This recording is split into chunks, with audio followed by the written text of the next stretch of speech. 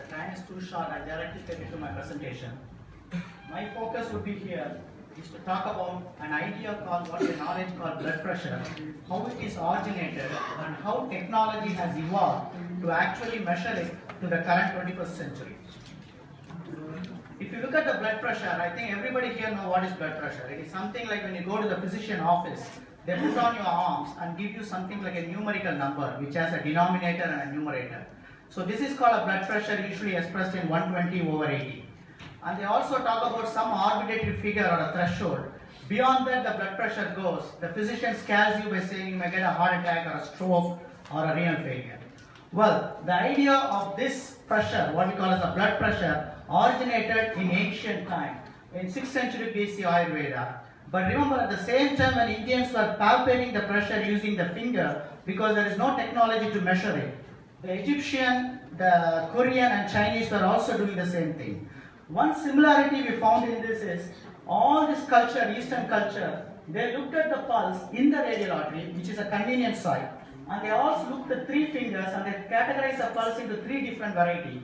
Vata, Pitta, Kapha by ancient Ayurveda, and the Korean name is Chuan, Guan, and Shi.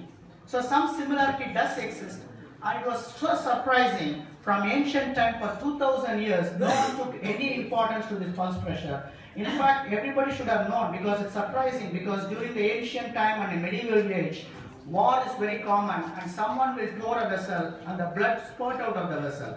And it is spurting out is actually a pressure. But it's surprising no scientist or no philosopher or no inventor were ever interested in the blood pressure. It took 18th century for the Westerners. The culture of palpating the pressure on the arms slowly transmitted to the Western and Western exactly copied what we did around 2000 years ago. But then they gave a twist to it. So what they did is if you look at the emblem of British Society of Medicine, they show the God himself is palpating the vessel. So they understand that measuring blood pressure is very important. So the first uh, revolution of blood pressure came by somebody called Reverend Stephen Hales. He is not actually a medical man. He is actually a preacher, an astronomer, a mathematician, a philosopher, and also he is a botanist. Some vague reason, he finally thought something I should do on the pressure. He took an animal, his horse, tied him down, and what he did is he asked his attendant to uh, closely stand behind the horse, and he put the brass cannula into the artery, close to the heart, and then put the glass cannula over the brass cannula, and he punctured the artery. When he punctured the artery, something different happened. The blood, which is the heart, rose into the glass column of 8 feet and 3 inches. Well, this 8 feet and 3 inches is a first number to come very close to measuring the blood pressure. It is not similar to what I said that 120 over 80, but of course this is the first time someone were able to measure the blood pressure and that revolutionized the medicine in uh, measuring blood pressure. Well, it took almost 100 years for another guy from Italy. He is a physician and he was Scipio Riva-Rocci. He devised a blood, blood pressure cuff which we use in our office. It's invented 200 years ago.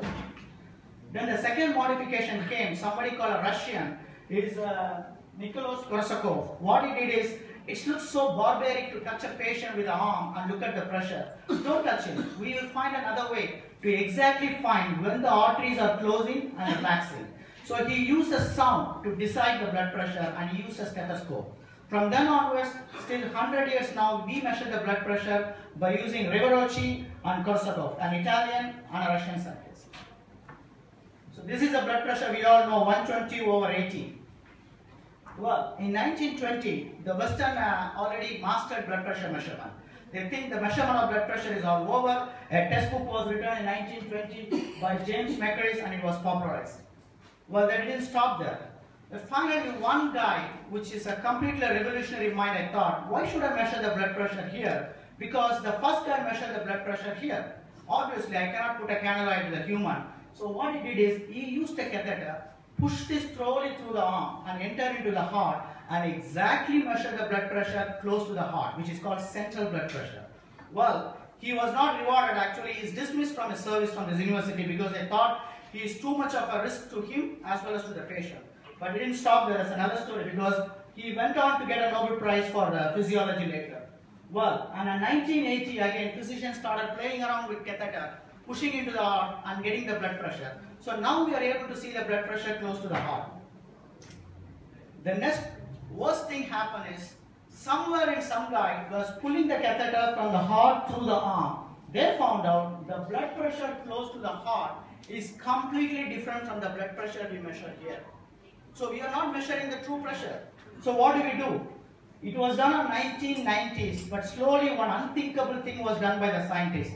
They wrapped it and put it under the sheet and they said we're never going to talk about it anytime. The reason is, if they accept the central blood pressure is different than periphery, either they have to catheterize everybody for a blood pressure measurement, or as the heart you have to put a cannula into the neck. Both are not possible. Well, it happened in 2000, almost in 21st century. A guy called Mike O'Rourke from uh, Australia. He was a mathematician and a physician. So he took a uh, tonometer, which is called a device called SphygmoCor. It is placed on the radial artery and pushing it to the radial artery in a non-invasive way. By mathematical calculation, he was exactly able to calibrate the pressure in the central artery. And now the central pressure measurement become a reality without putting a catheter into your neck or into your arm. And one surprising thing which we call as a reverse thinking happen after this. When we closely look at the blood pressure, when we do the palpation, as I said, three fingers were used. When we decode that pulse pressure waveform, which is got from the tonometer that he placed on the radial artery, surprisingly we got a three distinct bump. So possibly we may not know the original idea, the knowledge was created 3000 years before, but we never had a technology. If you don't have a technology, having a knowledge, we cannot advance or measure. So basically the knowledge was created 2000 years ago, but the technology to measure the advancement of blood pressure was done only by the Westerners.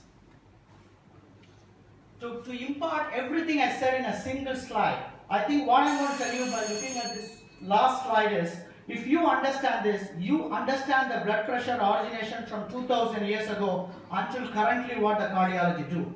You don't have to be a highly evolved uh, being called scientist to look at this figure. If you look at the two waveform, you don't have more knowledge. A simple guy can say these two waveforms are a completely different waveform. The top one was taken from a healthy young adult and the lower one from a hypertension who had a stroke and heart failure. So definitely by palpating and looking at the waveform, we were able to diagnose this long before. But unfortunately, even though we are able to do, the credit goes to the West, not to the Ayurvedic, because we have the knowledge, but there is no technology. And Westerns took over knowledge, advanced the technology, and finally give you something called a blood pressure measuring device, as well as a device which can able to measure the central blood pressure. And this is what I want to tell you. Scientific advancement is not evolutionary, but rather it is a series of peaceful issues punctuated by intellectually violent revolution, and in those violations, one conceptual word is replaced by another. Thank you very much.